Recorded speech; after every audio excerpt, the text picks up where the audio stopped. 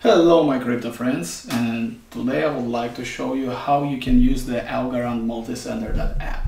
Let's get started.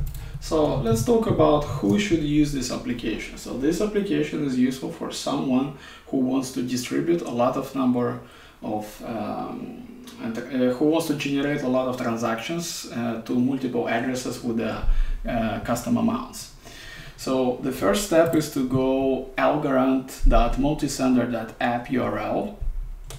And uh, here, uh, the first step is to provide the list of addresses in CSV format. So you can click on the button Show Example CSV. This will give you an idea how the how your list should look like. It's very similar to original multisender.app for Ethereum uh, multisender.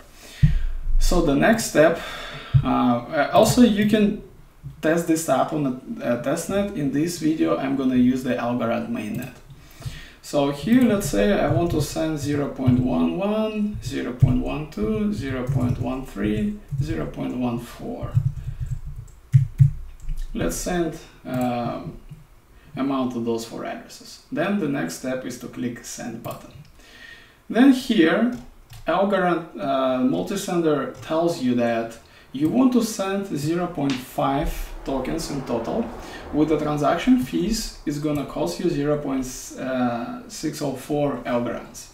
So the way it works is the Algorand multisender has generated a private key only available to you uh, in your local uh, browser cache.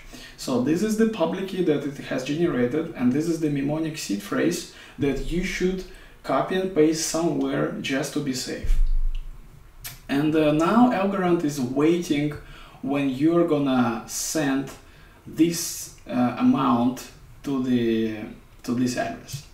So I'm gonna use the script that I also wrote and it's available in my public uh, GitHub page that I'm gonna show you in the description below.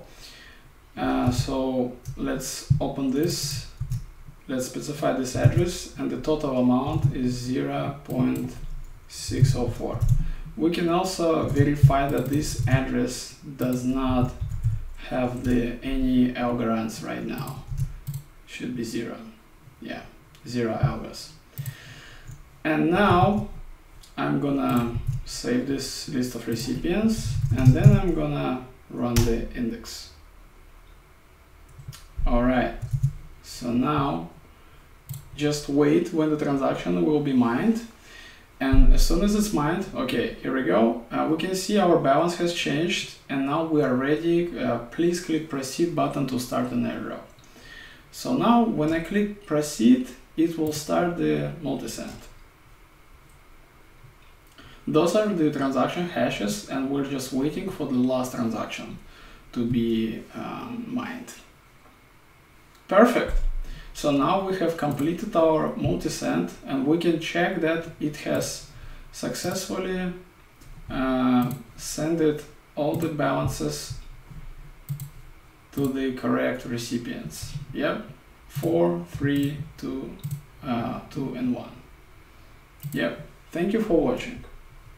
Uh, feel free to ask any questions in our telegram group which is located in this link. Thank you.